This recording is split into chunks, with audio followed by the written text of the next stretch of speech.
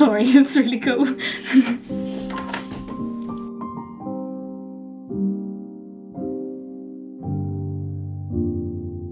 Hello. Hello.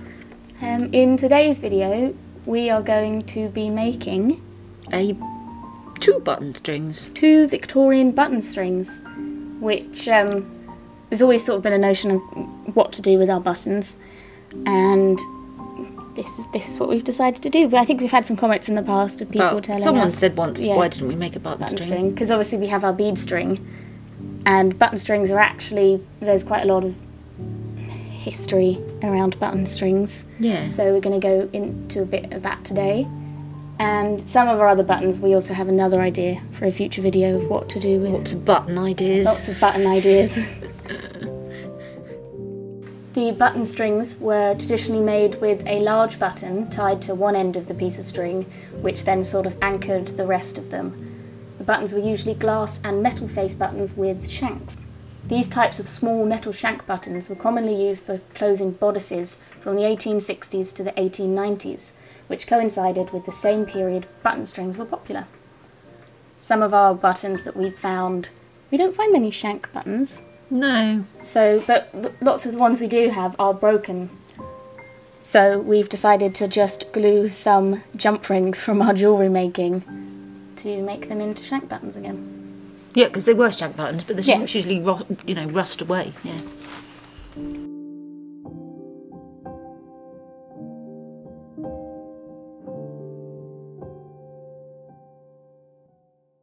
Button strings were popular pastimes made by girls in the late 19th century.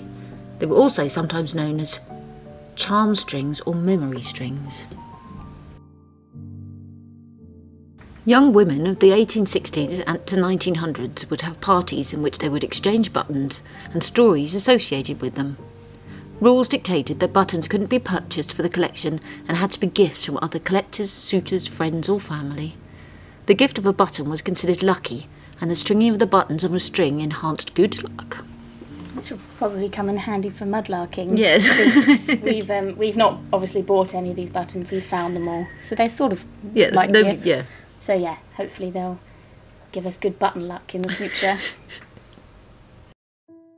Um, the strings were often left in view of visitors in order to encourage donations as well as conversation starter by serving as a memento and reminder of past events. The string became a physical reminder of the button owner and times associated with that person. Wire cutters is the same thing.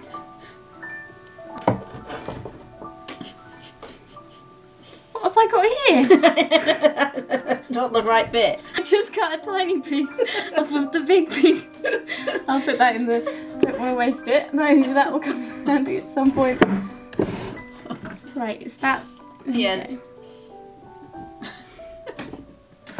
There is a romantic folklore associated with button strings and how unmarried girls would collect 999 buttons, no two alike, only accepting buttons as gifts from family or exchanges from friends.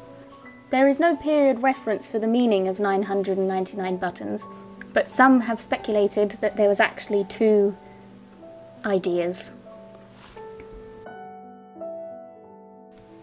Some stories claim that um, a young lady would meet her true love after adding the 1000th button, whilst other stories claim that the addition of the 1000th would doom the girl to eternal spinsterhood. It, it should be said that it's actually very rare to find a 1000 button string from that period.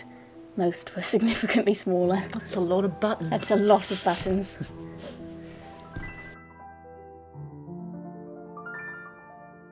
There was a song in the 1870s entitled Give My Button String to Sister.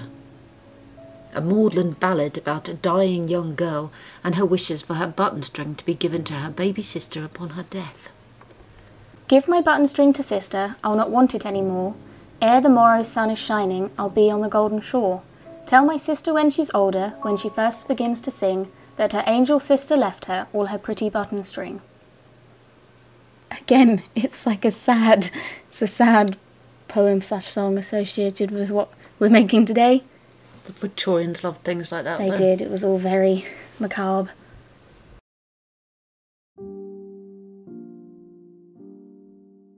There is a collection of 90,000 buttons that came from button strings in the Museum of Connecticut History at Hartford. The collection came from John Tyng and has an interesting provenance. Tyng was showing his prize Angora goats at the Connecticut State Fair in 1883, where he saw the display of a button string consisting of 1,432 buttons. Intrigued by the collection, Tyng offered as a prize $50 to young ladies under 20 years of age who could produce a string of at least 2,700 buttons within 30 days.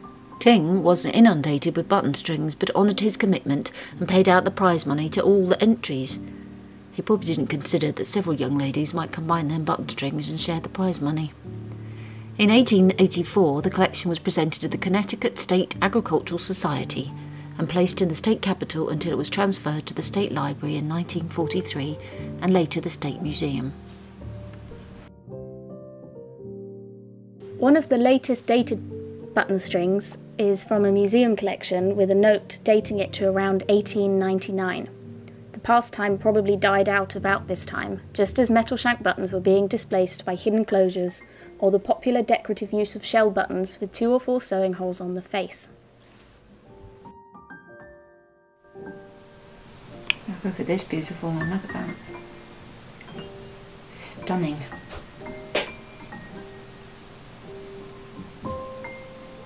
Is the needle too big? Okay.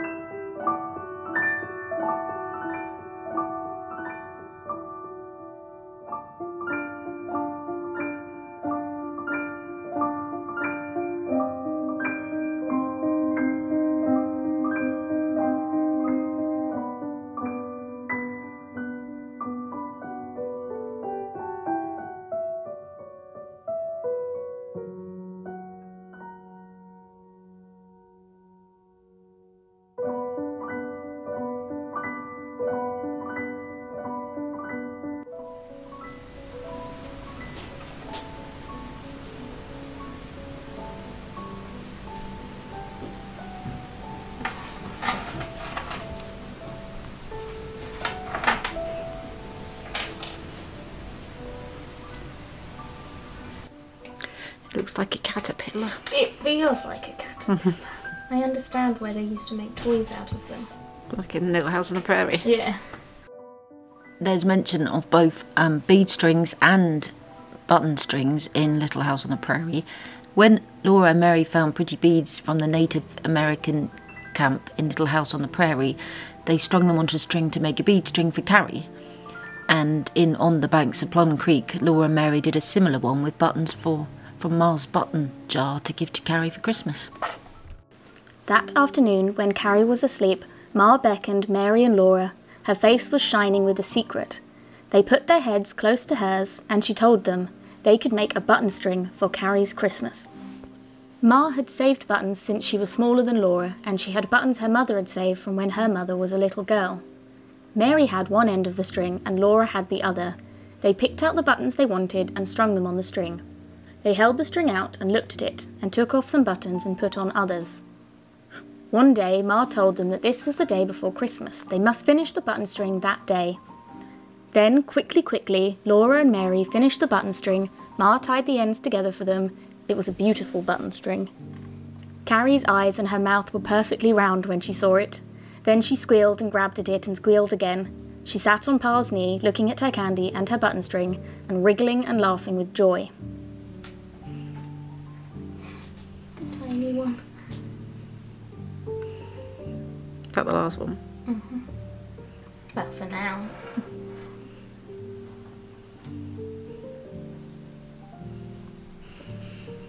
Nice. Let me touch it. That's so cool. Yeah, you can see why the children would have liked it. Hmm.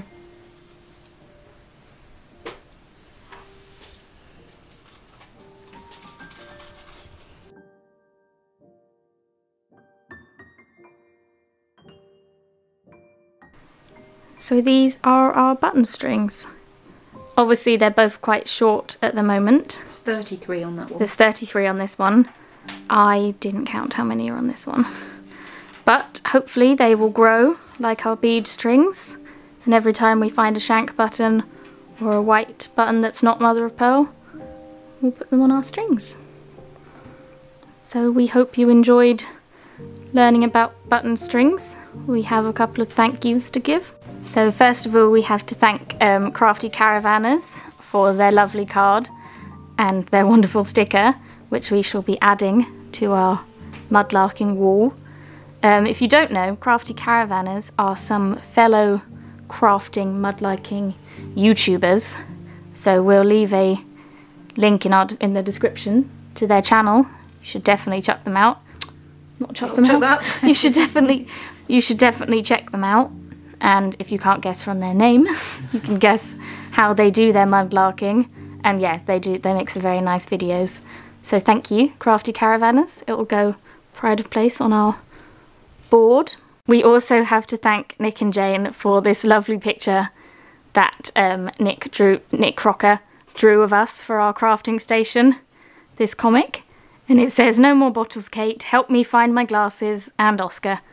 And Mum's glasses are on our head, and I have arms full of bottles, and Oscar is up a tree, and it's wonderful, and it's hanging up above our crafting station, and yeah, it really makes us chuckle when we see it. Mum's wellies, yeah, you can tell that they've they've watched our films. The level of detail is amazing. So yeah, thank you very much. We absolutely love it. It's brilliant. It's absolutely brilliant. So we're just going to leave you with a video looking through our buttons that we already owned. Bye. Bye. Um, a long time ago, I collected buttons, and these are some of them. These are the loose buttons. Um, I thought we'd look through some of them. You're picking out your I'm picking out all of these ones. but there's some like beautiful, like enamelled ones. Um, and this is a modern one, a Bakelite one, celluloid. Oh, they're so beautiful. Lots of glass ones. Ones like this. Tiny star. Where's the horse? Mark set. Here's the horse. There's a horse. I'm picking out all of. Oh, look, we found lots of ones like this. Look at this. this one. Oh, is it gloves? Is it a pair of gloves? A pair of gloves. Oh, This is one of my favourites. The little glass um, glove button, maybe, It's like a humbug. boot button. Maybe all made of glass. Oh, look at that one. Dice. This is the excellent thing about um, being at home all the time. You get to look for. I know a lot of other mudlarks, particularly. This one has a little cardinal, maybe. Um, mudlarks, particularly, are looking back through things, finds from. So the, yeah, this is. I didn't find this though. You I- found them in charity, charity shops. Most of them were from and markets. charity shops, yeah. But you don't find them these days. I want to show these ones. Like, oh, look at that one! That one looks like a raspberry print. Where's our raspberry print? So Sue, a viewer, kindly sent us this could be Tudor raspberry print that they used to put on glasses to to grip them. And this is a no, it's Glass. So this is a, a button that looks just like a raspberry print. How cool is that? wow. And thank you very much for this, Sue. I'm not sure it's on our bucket list to find, but it goes in our lovely special things thing. But it's weird the things you find because um, there's a few cabochons in there as well, and they look like the Niger brothers, but they're not. I don't think. The Scarab Scarab beetles. beetles. No, because the Niger brothers, you know it's a Niger brother one if it's double double sided, whereas these ones are flat backed. But they're probably 1920s from the Well, it's Egyptian, Egyptomania. yeah. Oh, some of them are beautiful. I want Look to. at this mother of pearl one. Stunning. Wow. We need to find in- some like this. Yeah, in a dump though, that one would probably Perish. fall apart, perish. Are they grapes? Oh no, it's just some like iridescent flowers. But look, this is a um, a shell one like that's on ours. We have one got just one, like yeah. that that we found on our button string. But this is obviously one we had in the house before. See, how cool is that? These are my favourites. Mum tells me they're glove buttons. Look at them. This one is amazing. Imagine finding that. You'd be so chuffed. Well, it's a bit like the one that you sewed on. Um, Oh, it is like the one I sewed on Dump Baby. So there's the one I sewed on Dump Baby with some enamel. So yeah, maybe it would have it would have looked like that. looked a bit like that. These two are my absolute favourites. And because they're tiny.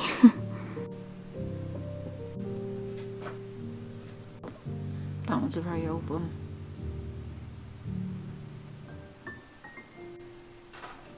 this mother of pearl one.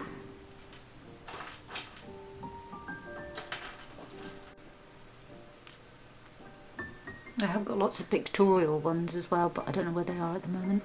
You sewed them onto a little velvet frame. I know, I know, I don't know what that is. but hey, lockdown is a time to find things.